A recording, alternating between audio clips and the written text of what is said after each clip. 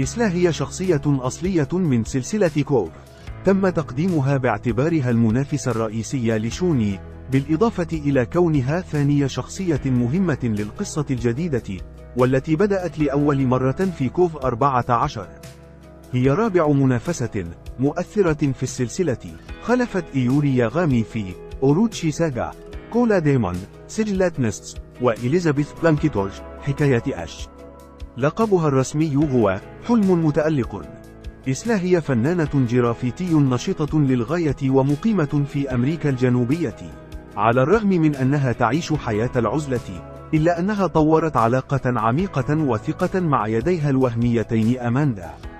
ومع ذلك عندما يحين وقت الحسم فإن إسلا لا تمزح أبدا فهي تستخدم أماندا وعلب الرش الخاصة بها لضرب كل من يعترض طريقها.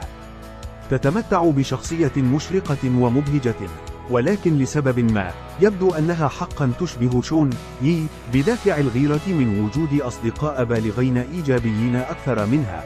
على الرغم من أن كلاهما قد لعن بالطيف المضخم على الرغم من كراهيتها للكبار تحترم إسلا القليل منهم المعروفين جيدا والذين يظلون إيجابيين في قلوب أي شخص آخر مثل تيري بوغار. تتمتع إسلا بقوة مماثلة لتلك التي يتمتع بها منافسها تشون هي على الرغم من أن كلتا يديها أرجوانية في سياق مشابه للهيب إيوري ياغام الملوث بأوروتشي.